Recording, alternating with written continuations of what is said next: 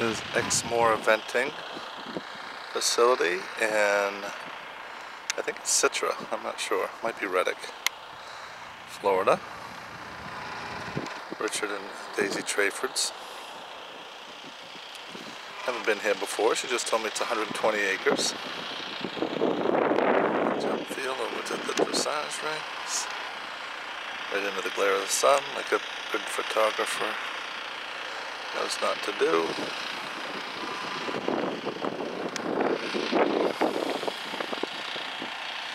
Nice big field for parking right off of a pretty major road, so even I could drive in here.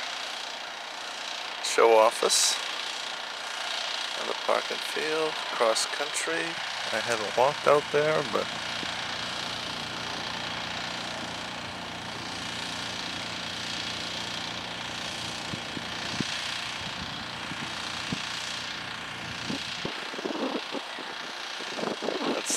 Reader's Digest version of the facility.